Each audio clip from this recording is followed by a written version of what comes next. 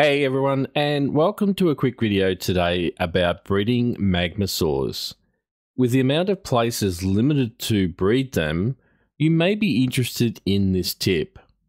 So with that, let's get started. Okay, so I'm on Ragnarok, and those that are familiar with Ragnarok would know that there are a few places where you can breed these uh, dinos. But what if those spaces are taken up and you've either got to trade with them or breed yours with theirs, etc., and be on good terms, or go to another map and have go through the same thing. But what if there was a way that you could breed them without using lava? Now these are ready to mate here. I've got two of my magmasaurs ready to go, and as you can see, it does say it requires lava to mate. And I have a nicely bred up fire wyvern here with over 7,000 uh, points put, or not points, but its, its stamina is over 7,000. Um, and what we're going to do is we're going to get up as close as we can and we're going to breathe on it. And as you can see, the mating is going up. Now, I'm um, okay, so as you can see, I'm actually too far out. So let's get in a bit closer.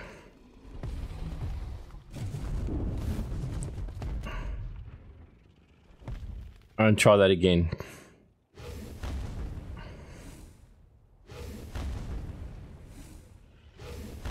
Alright, that's much better. And as you can see, it's slowly going up.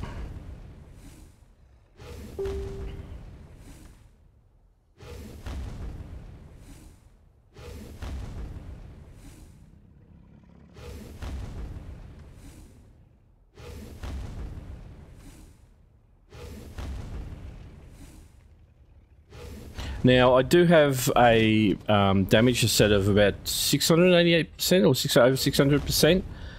I'm not too sure whether the amount um, of damage that the Fire Wyvern does plays a role in this, but certainly the stamina does. Now, 7,000 may be overkill, but you may need to experiment and um, try these for yourself.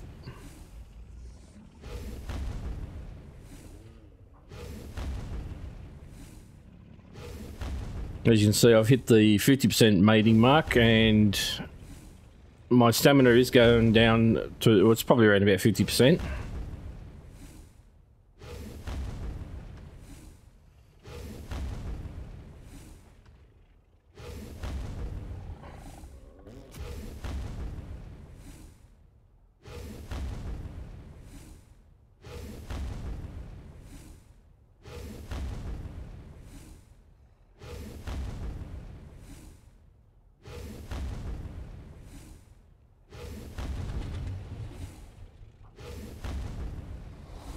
As you can see, I'm almost out of stamina, but I'm almost done breeding them, or mating them.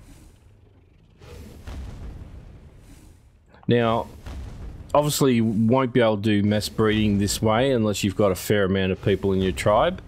For solo players, it's still a way of getting something done. And as you can see, the egg has popped in the middle there.